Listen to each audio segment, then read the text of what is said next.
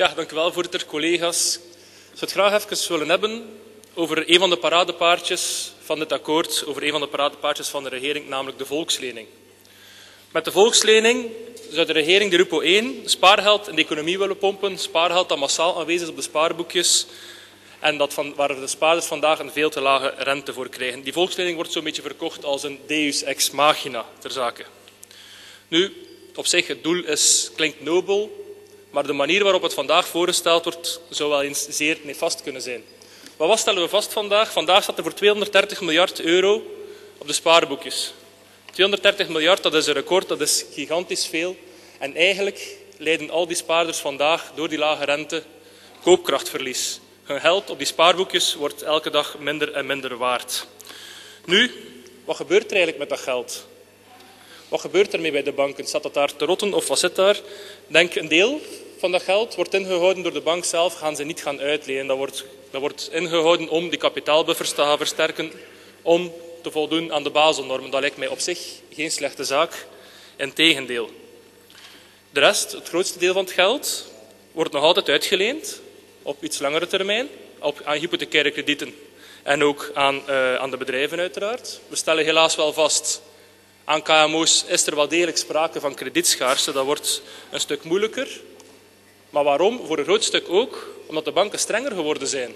Ze zijn strenger geworden in het beoordelen van bedrijven en het beoordelen van projecten aan waaraan zij die kredieten toekennen. Op zich, op zich is dat misschien niet zo'n slechte zaak als we kijken naar de excessen uit het verleden waar men toch al te grote risico's nam. Maar niettemin, algemeen, wat betreft financiering van de banken aan de economie, is er nog altijd een groei. In het tweede kwartaal vorig jaar was er een groei aan kredietverlening aan de economie van 1,1 procent. In het derde kwartaal zelfs 1,3 procent. Excuseer. Dus daar is wel degelijk nog altijd een groei. En wat stellen we zelfs vast? Daar waar het bij KMO's moeilijker is, is er bij grote bedrijven nagenoeg geen probleem. Integendeel. De kredietlijnen die toegekend worden aan de grote bedrijven, die worden slechts voor 60% gebruikt. 60% van het krediet dat toegekend wordt aan grote bedrijven wordt gebruikt. Waarom niet meer? Ah, dat lijkt mij logisch. De bedrijven die hebben helaas schrik. De bedrijven stellen investeringen uit. De bedrijven voelen zich bedreigd. Dat is ook de kritiek die we horen van Karel van Eetveld. Dat is ook de kritiek die we gehoord hebben van Didier Belles vorige week. Dat is die kritiek. De bedrijven stellen hun investeringen uit omdat zij geen vertrouwen hebben in het investeringsklimaat dat hier gevoerd wordt in het investeringsklimaat dat deze regering beoogt. Daarnaast, wat doen die banken nog met dat geld?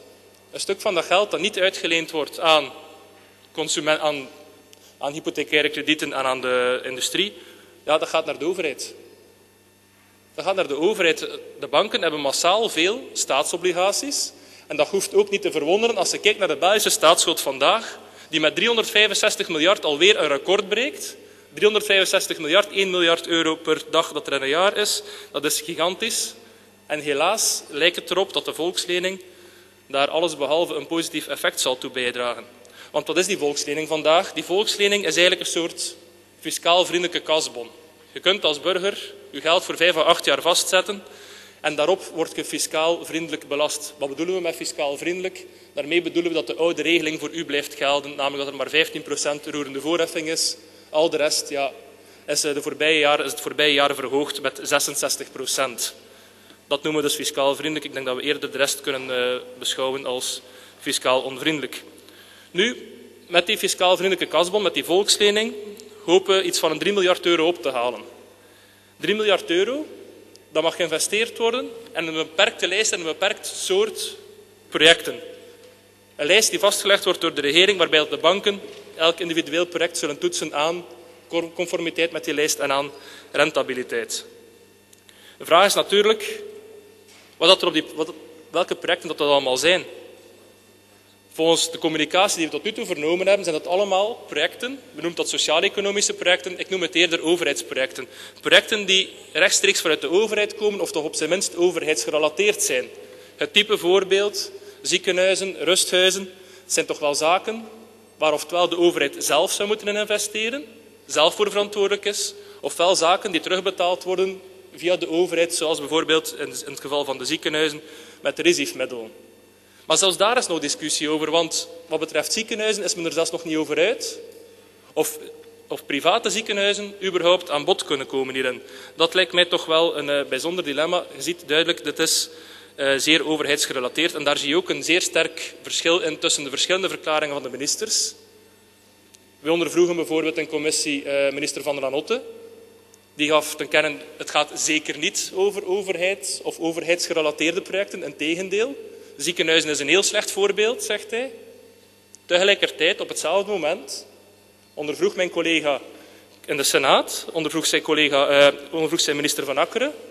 Wat gaf hij als voorbeeld? Ja, dat wordt gebruikt om ziekenhuizen te bouwen.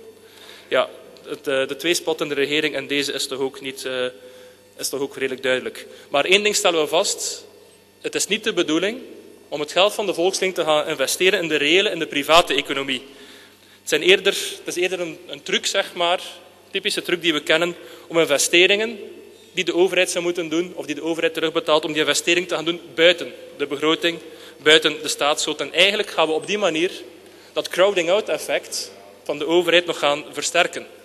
Nog meer geld dat bij de banken staat, dat naar de overheid zal gaan en nog minder naar de reële economie. Dat is bijzonder nefast.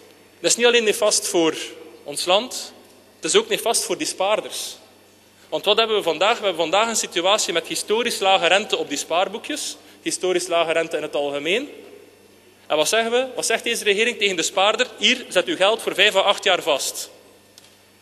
Ja, als de rente van de ECB onder het 1% staat, je weet zeker, veel gaat hij niet kunnen zakken. De kans dat hij stijgt is een stuk groter. Als die rente stijgt, ja, dan worden die volksleningen, die obligaties bij die burgers, dat geld dat voor vijf jaar of acht jaar vaststaat, wordt minder waard. Dit is eigenlijk bijzonder nefast voor die spaarder. Dat is uh, ja, eigenlijk dat volksverlakkerij. De mensen aanzetten om hun geld vast te zetten in tijden van lage rente. Dat is uh, alleszins niet de boodschap die deze regering zou moeten geven. Toch niet aan die lage rente.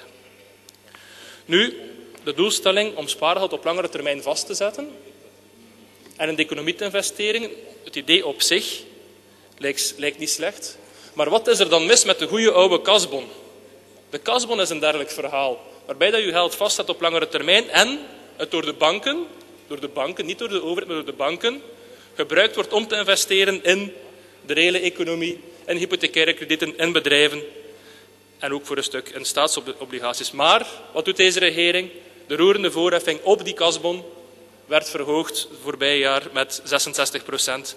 Het is net het omgekeerde van wat de regering hier wil bereiken met haar volkslening lijkt mij toch op zijn minst zeer uh, rare manier van doen. Ik denk dat veel belangrijker dan dergelijke ideetjes zoals die volkslening is ervoor te zorgen dat het klimaat een stuk beter is, dat het investeringsklimaat een stuk beter is, dat de bedrijven effectief ruimte krijgen om te investeren, te investeren in onderzoek en ontwikkeling.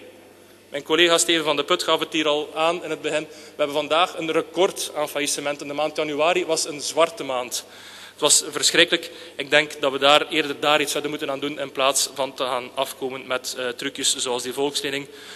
We hebben nood, veel meer dan aan de volkslening, hebben we nood aan fiscale stabiliteit. Het aantal keer dat de regeling voor de, bedrijfswagens, voor de bedrijfswagenheffing veranderd werd, is bijzonder, bijzonder nefast voor het investeringsklimaat. De nood aan structurele hervormingen klinkt alsmaar luider.